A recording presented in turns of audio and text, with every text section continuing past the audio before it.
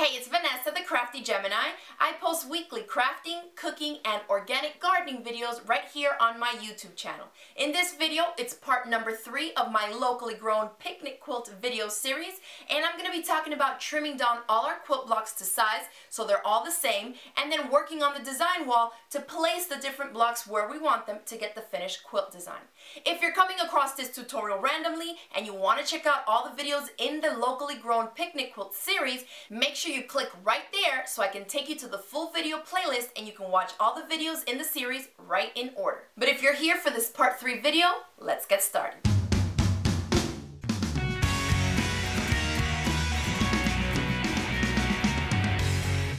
Okay, so once your 16 blocks are complete, you are going to need your cutting mat, the rotary cutter, a couple of rulers. You can get away with one that's a little bit shorter, but because these blocks measure 16 and a half inches, it's preferable if we can do our two ruler trick using two rulers that are longer than the 16 and a half that this requires. Then I want you to measure each one by one and find which one is your smallest block of the entire bunch of 16. So each one of these blocks was designed to be finished at 16 and a half inches squared, right? When the block is like this individually. Once it's inside the quilt, it's gonna measure 16 inches by 16.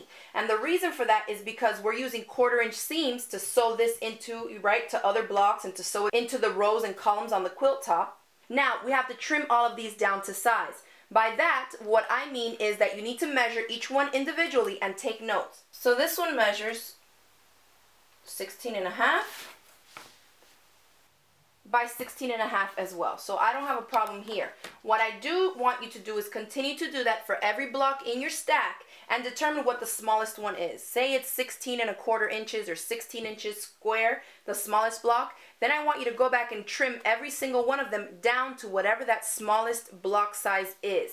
The reason for that is that before you start putting your quilt top together, you can't sew these together if they're not the exact same size because they're all perfect squares. They need to measure everything exactly so that all the rows and columns on the quilt top will come together nicely. Now once you've trimmed all 16 of your blocks down to the same size, they're all identical measurements, and you've trimmed them down to measure whatever the smallest one is, then you should have 16 identical blocks. And when all your blocks are trimmed down to size, you can head on over to the design wall. And a lot of you in previous quilt-alongs have asked me what exactly this is, and this is just a thin piece of polyester batting that I thumbtacked right into the drywall. So it's nothing fancy, and you can really use all kinds of different things. There's no adhesive on this at all. All it is is the friction that's created between the fabric and this fabric holds it up. So it's totally uh, removable. You can replace the different things. And so it's a great way for you to audition different blocks or whatever your quilt design and layout is so you can then stand back, take a look at it, and see if you want to move any things around. Which this is totally going to apply for this quilt along as well. I'm going to put up here the blocks in the orientation to create the design that I came up with. But feel free to do whatever you want with the 16 blocks that you ended up with. So here's how the full layout of the design goes. Play around with it any which kind of way you want. It doesn't have to be the same way I did it here. Here are some examples of other ways that you can orient the same 16 blocks.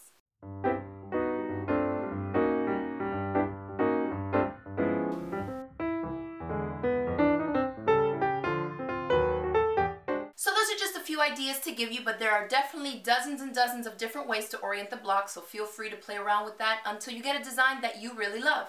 Now, for sewing these together, we're still going to be using our scant quarter of an inch seam allowance, but this time I want you to note something. In the design that I came up with here, there's a lot of geometric shapes, and so you can see that to create the look of all these four with the green towards the center, all these seams here are going to have to match nice and perfect so that you get the illusion of that green square in the center, then the yellow on the outside, the blue, like that. And so if you wanted to get it to look just like it's supposed to in the design, then you definitely want to make sure that you're abutting all those points at all the intersecting points on the different block pieces, okay? But if you don't want to bother having to match up all these different intersecting points here on the multiple blocks and patchwork pieces, then you may consider coming up with a more simple design like this one.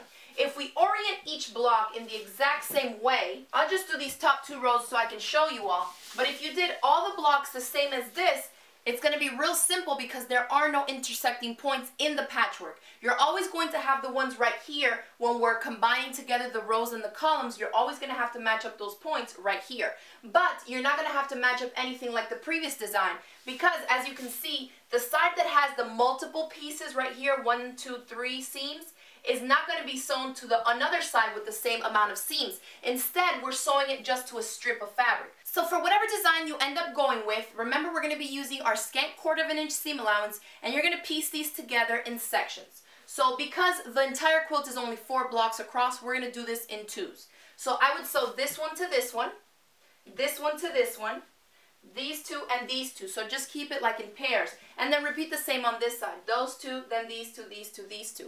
Once I have them all done, I can put them up here and then I'll start combining, basically creating half of the quilt top first and then the other half. So then I would sew together this to this to this to this. So I can get half of the quilt as one long strip and then repeat the same thing on the other side. Once you have those two halves, all you need to do is stitch them together down that center seam and then you'll be all done with the quilt top. So as you can see, I have to get to piecing this quilt top. You all have homework to do as well. I'll meet you right back here next Thursday for video number four of the locally grown picnic quilt series. If you enjoyed this video, go ahead and hit it with that thumbs up below, share it across the different social media sites, and don't you forget to click that subscribe button right there so you won't miss out on any of my future videos.